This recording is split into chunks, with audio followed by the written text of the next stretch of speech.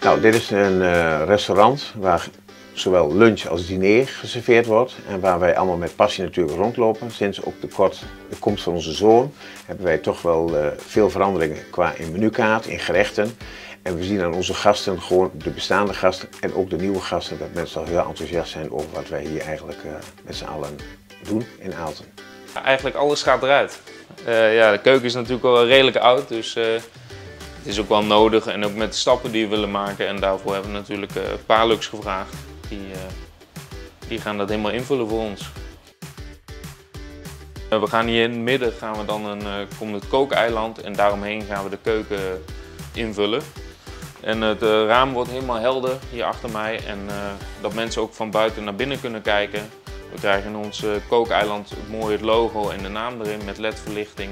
Het unieke van deze keuken is dat het in relatief kleine ruimte, een hele compacte keuken met een hoge capaciteit.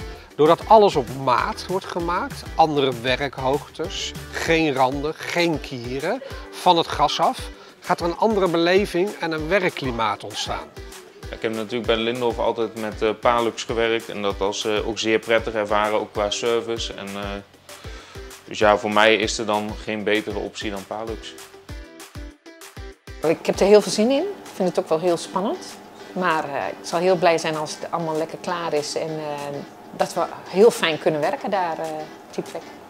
Kijk, het gaat erom dat de keukenbrigade goed kan werken. Wij lopen voor en dat we samen een samenspel hebben van mooie gerechten. Goede gasten hebben we al en goede bestedingen en dat we gewoon daarop voor kunnen beduren.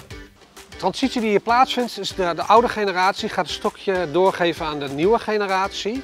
En die transitie gaat ook in de keuken plaatsvinden. De transitie die hier gaande is dat we van het gas afgaan.